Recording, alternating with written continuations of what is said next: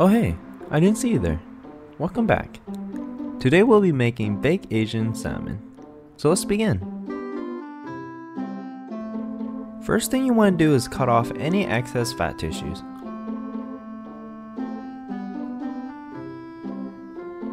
It should look something like this after you're done. Now we're going to cut the salmon into serving size pieces. I'll be cutting them vertically, but you can cut them horizontally if you like.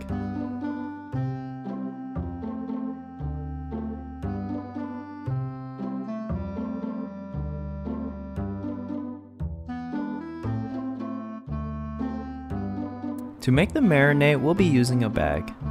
First add in soy sauce, honey,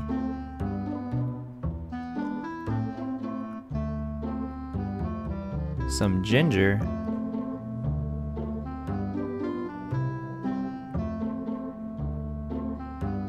and of course sesame oil.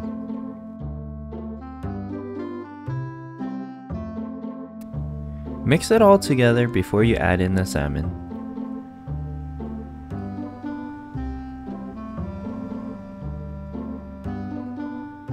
You smell that? Smells good, huh? now we're gonna add in the salmon. Once you're done, seal the bag and mix it all together. We'll let the salmon marinate in the fridge for about 30 minutes. But you can leave it overnight.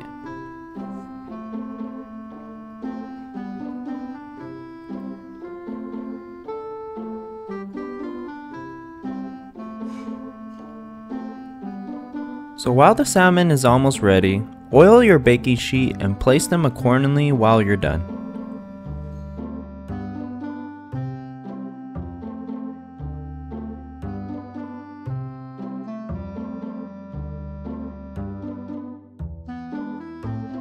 Now we're gonna add in the salmon.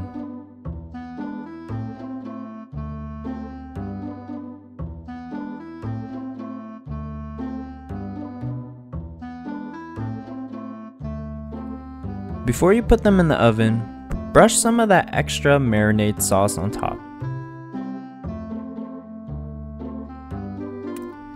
Bake the salmon for about 15 minutes in a 400 degree oven. Halfway through, take them out and brush a little more of that delicious marinade sauce.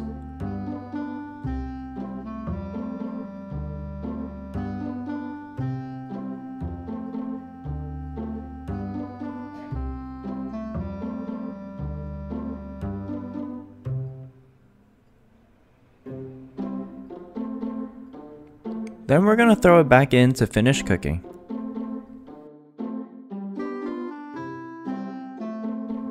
And there you have it. Flaky, moist, and of course delicious. I'm serving it under a bed of arugula, but I highly recommend serving it with a bowl of rice.